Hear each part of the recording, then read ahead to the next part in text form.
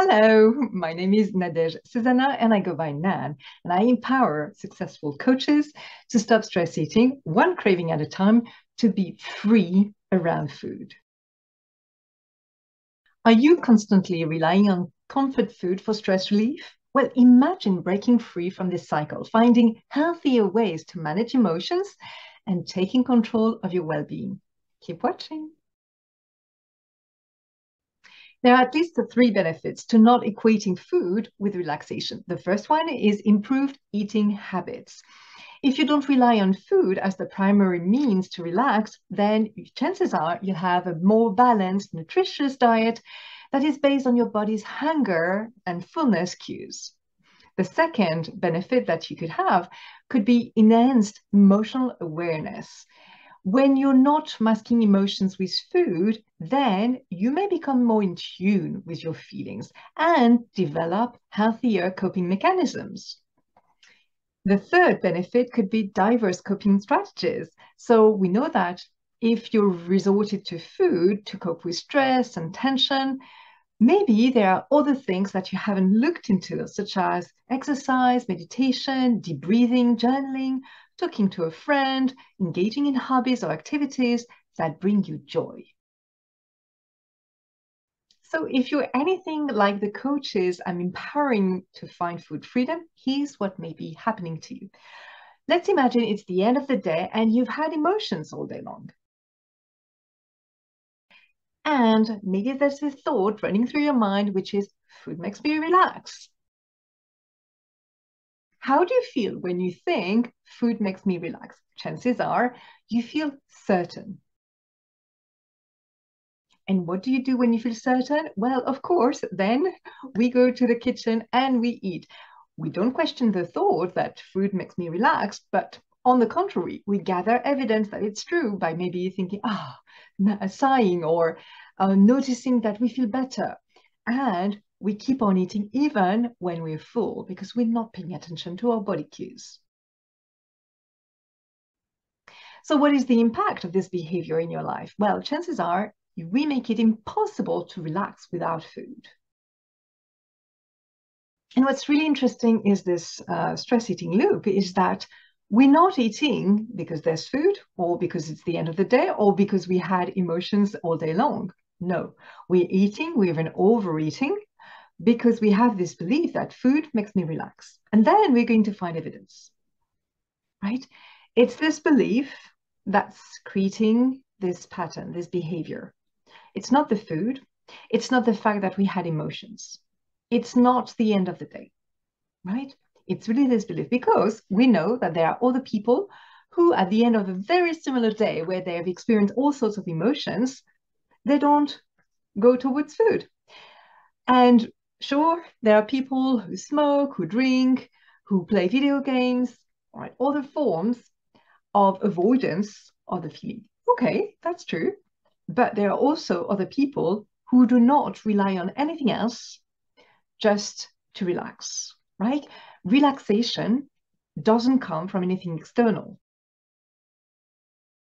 whenever we feel relaxed, it's not because we've eaten, we've smoked, we've uh, we've drunk, we've talked to a friend, we've meditated, etc.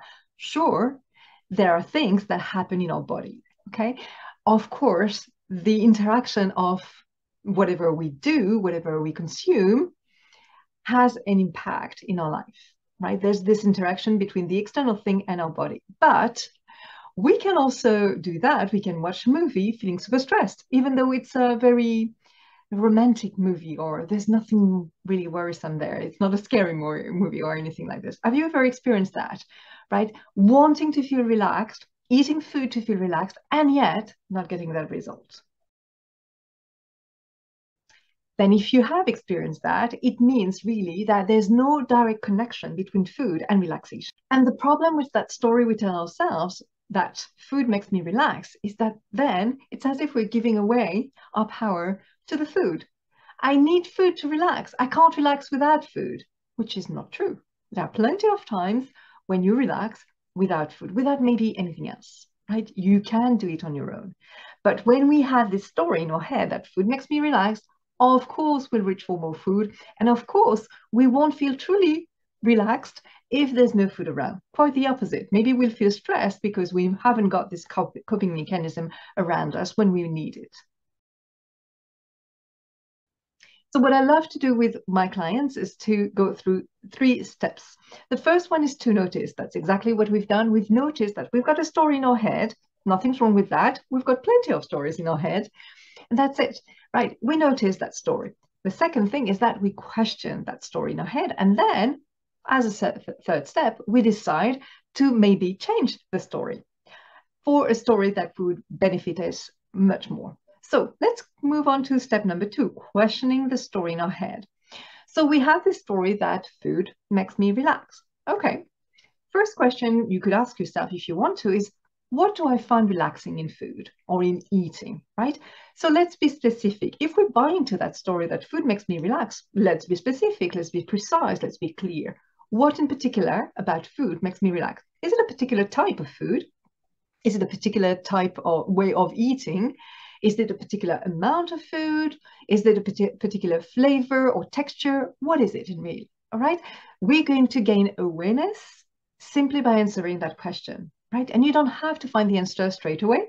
Can take time. You can keep that question in mind whenever you're eating, whenever you're noticing you're eating to find relaxation, right? That's the first question. What do I find relaxing in food? The second question you could ask yourself is, what does relax mean to me? when I feel relaxed, what does it look like? What do I do? What, how do I feel in my body? What is it? What am I thinking? And that could be the third question, actually. What thoughts make me relax?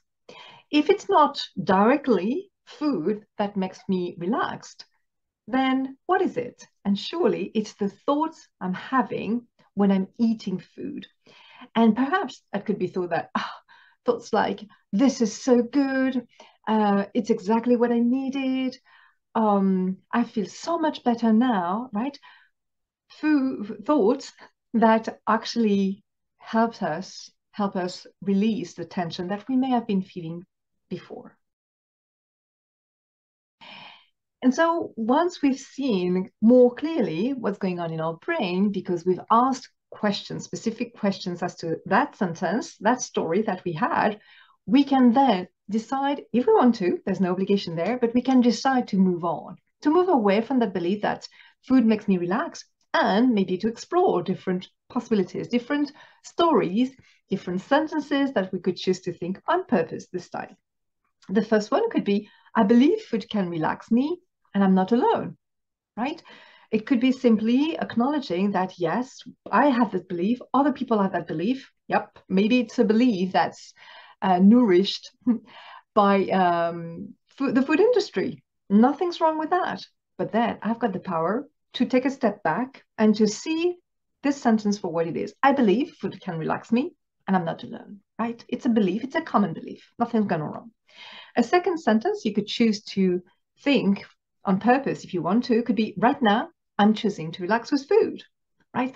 And it's really about owning that choice right now, this is my, my choice, my decision. I didn't know before that I was doing that, but now I see it and I decide that for the time being, it's okay. It's something that I want to keep on doing. And now I'm conscious of it. And maybe I'm choosing to do it consciously. That's fine. Nothing's gone wrong. And the third decision you could make, the third story, the third sentence you could choose to adopt if you want to, could be I could choose to relax differently if I wanted to then again, we're just opening the door to other possibilities. There's no rush. We're just simply noticing that we've chosen that option. We're also noticing that there are plenty other options, right? I hope this video was helpful to you. This is my wish. This is really why I'm doing this, to help as many people I can, because I love helping people. And I also know how painful stress eating can be. First, the physical pain that we have, that we get when we overeat, but also, and maybe that's the main thing, that's the most painful thing, the mental and emotional pain that we go through when we've eaten too much. The guilt, the regret, the shame, right? I used to think I was a freak because I was doing that. Now I see that it's so much more common than we think. And it's still something that we don't want to do, and that's okay.